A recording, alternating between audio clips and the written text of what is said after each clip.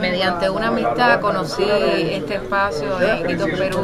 Quería estar cerca del Amazonas y ahí era donde tenía una relación, eh, donde podía quedarme, un hostal de, confianza. Entonces, yo soy muy apasionada con la fotografía. A mí me gusta mucho hacer fotografía. Entonces, voy con mi cámara a todos los lados y ahí yo estaba haciendo tomas. No quería perderme pero quería hacer tomas y entonces yo misma edité todo ese corte porque me parecía tan interesante. Porque a veces en la ciudad se nos olvida que existen otros remedios paralelos para la vida, para el espíritu, para la mente. Estos chamanes en Iquitos, Perú, ellos pueden curar cataratas, ellos pueden curar trastornos de locura, cosas que parecen increíbles. Ellos pueden hacer crecer el pelo.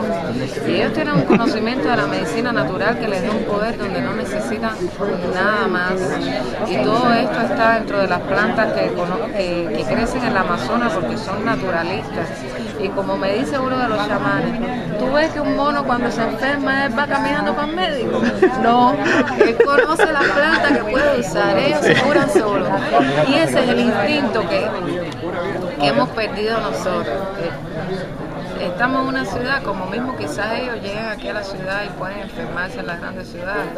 Nosotros allá estamos como vírgenes, que ya nos hemos apartado mucho como de la raíz de, la vida. Un respeto por el conocimiento de la madre naturaleza y saber combinar eso para poder abrir como la, glándula pineal y estar como en conexión con un mundo paralelo que existe, que, que, así naturalmente no, no, podemos ver. Solo cuando uno se concentra y está centrado en estas cosas. Eh, pero como todo hay, hay impostores, hay demagogos donde quiera, está la gente que coge todo para lucrar. En estos días todos tienen que cobrar, incluso hasta esos chamanes que llevan templos, porque la hierba hay que cortarla, los galos deben tener mosquiteros, porque si usted va, usted está adaptado a otro estilo de vida, entonces debe tener ciertas condiciones, una cocinera que cocine, y estas cosas, este esfuerzo debe ser remunerado. Pero fuera de eso hay otras personas que, como mismo existen en Cuba, existen en todos los lados, como mismo están la gente que te lee las cartas quiere adivinar una cosa y no hay nadie que hace confundir a los demás. Bueno, pero sí hay gente real que, que está, tiene su espíritu bien conectado.